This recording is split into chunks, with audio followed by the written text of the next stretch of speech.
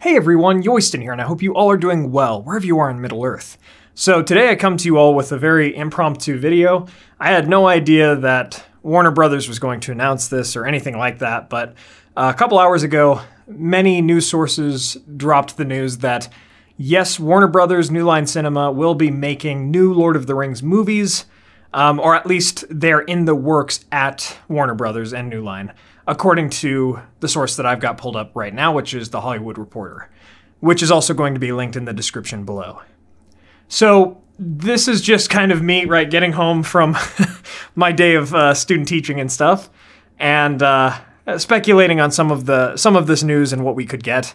Right, it's it's really not a lot to go off of here, and we've gotten a lot of big recent news. I feel like over the last year, not all of it is worth making this sort of video for, but I figure, what the heck, right? We can we can kind of take a look, see what they're working on, and, and maybe take a couple guesses about what this will will end up being, right? So let's see here. We've got uh, according to the Hollywood Reporter, the multi year pact with rights holders Embracer Group AB allows Warners to develop features based on J.R. Tolkien's Lord of the Rings books and The Hobbit. Embracer Group, the Swedish gaming company, acquired the rights to produce Lord of the Rings films, games, merchandise. Yep. So, uh, skipping down a little bit, right? So, this is just from, again, that Hollywood Reporter article. And again, there's been rights movements uh, about Lord of the Rings, and it looks like that we will be getting more games. We've obviously got War of the Rohirrim coming up, right? Rings of Power Season 2 for what it's worth coming up, all of this stuff uh, coming up in the next couple years. So a lot more Lord of the Rings stuff, but again, kind of an unexpected move, right? Uh, this was announced during Warner Brothers Discovery Investor Call Thursday. Um, let's see. And initially floated the notion of a Lord of the Rings return. So uh, just kind of, again, trying to read through, make sense of some of this. And it seems that according to what I've seen in uh, on Twitter and so forth. Right here, here's this as well. In a statement, Jackson and his Lord of the Rings partners, Fran Walsh and Philippa Boyens, noted that they were aware of the latest developments. Said the trio, quote, Warner Brothers and Embracer have kept us in the loop every step of the way. Right? And so uh, there you go. So it looks like this will be happening from New Line and so forth. I'll pull up a couple more articles linked in the description. So Polygon, new Lord of the Rings movies are on their way, and uh, the same sort of thing here. So, right, I, I don't think there's a, a, lot of new information to uh, to add, but like I mentioned as well, right, the War of the Rohirrim and so forth are also slated to come out in the next couple of years. And I know that Warner Brothers has been going through a lot recently, a lot of management changes. I'm not quite sure about all of it, but I know a lot of things have been changing at that company. So that makes sense that maybe they, you know, they still have these rights and that they want to do more with them. So yeah, uh, feel free to take a look at these articles and many more out there, surely on uh, a bunch of different websites. I'm sure everybody's writing and talking about this right now. It's pretty big entertainment news. So now for my thoughts on it and for what uh, for what I think this could be. Uh, I mean, I will admit that the recent television show, Rings of Power, season one at least, has made me a lot more skeptical about new projects being announced. And I'm really hoping that these next couple of years aren't just about quantity, but are far more about quality, right? Uh, I would much rather have three incredible Lord of the Rings movies and so forth over a 20 year time span that are just so memorable that that you keep watching them year to year and so forth like we've had than to get you know, almost like this cinematic universe for Middle Earth that's very meh, you know, that's very mid.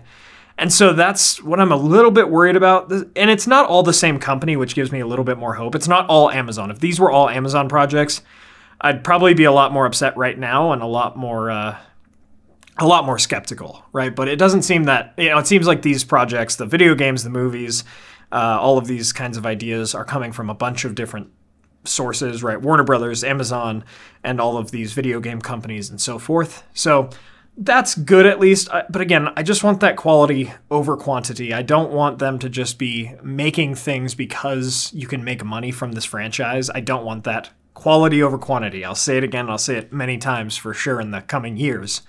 But Uh, we'll see. I, I, you know, I don't think it's enough to be cynical. In fact, I, I'm still like hopefully optimistic for sure on a lot of these projects. Again, I will say that Rings of Power has has made me a bit more cynical and skeptical with all of these things, but what I'm hoping for is that okay, if we're getting Lord of the Rings movies, at least movies set in the universe, do not remake the movies. And this does not seem to be a remake. This seems to be much more of like a we're going to expand.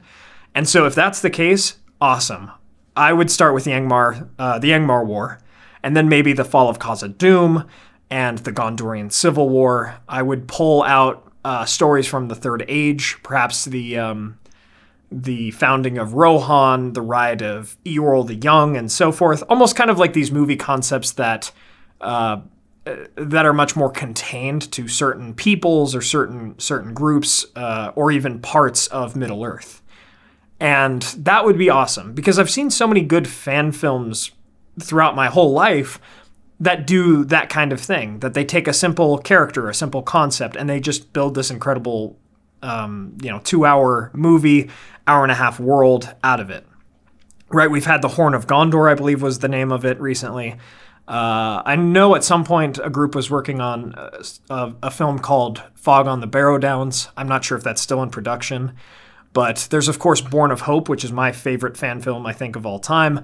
And uh, The Hunt for Gollum is incredible as well. So in many ways, yes, while there are great, grand, huge events and battles that happened in the history of Middle Earth that these movies could totally show, especially if they have the budget and the directing and the production, all that stuff for it, then yeah, that would be awesome. But if they are trying to go more of like the cinematic universe route, which again, I have my reservations for, uh, they should start with something smaller, right? Character stories, uh, very much, you know, uh, simplistic, not overly complicated plot lines, but plot lines that mean a lot to us who have read the books and, and things like that. I just really, really want them to stick to the source material, right? I, obviously, there's going to be changes, but for something like Rings of Power, we've seen way too many changes. That show was crazy with the amount of changes that it didn't even need to make. But again, there's the whole problem of rights and what rights they had, didn't have. Stay in the third age, stay with stories that are incredible that you can explore the, the entirety of them. If Warner Brothers can follow in this kind of direction and have that quality over quantity, right? Having things be good rather than having a lot of different projects, then this this is great news, right? I'm super excited. So, uh, well, I'll keep this nice and short, as short as I can. Um, let me know what you all think in the comments down below. Uh, I really appreciate it, you know, and uh, I'm excited for the conversations that we're going to have here in uh, in the coming years about perhaps more, hopefully, incredible movies coming out soon. So, really fast, thank you to our Valar tier patrons. Uh, Peter Sheppard, Jonathan Putnam, Mark Kralick, Molly Sullivan, Blair Scouten, Merten, John Hume, Sam McBee, Matt Sibbach, Elizabeth Calvert, Maz Gibs, Rhys Jenkins, Adam Petrolik, Anthony Harmon, Dorwin Gray, Arthur Merlin, Dale Davis, Kings Wild Project, and Robert Bogue. To support the channel, uh, please consider getting some candles from our friends Mythologie Candles or order some Weta or United Cutlery Lord of the Rings swords, statues, and other replicas from Castle Kon, who does international shipping and use the code WEST at checkout. Please check out our merch and Patreon. My friends, thank you all so much for watching. Please don't forget to subscribe, hit that like button, let me know your thoughts about all of this, and thank you all so much for joining me on this adventure. Until the next one.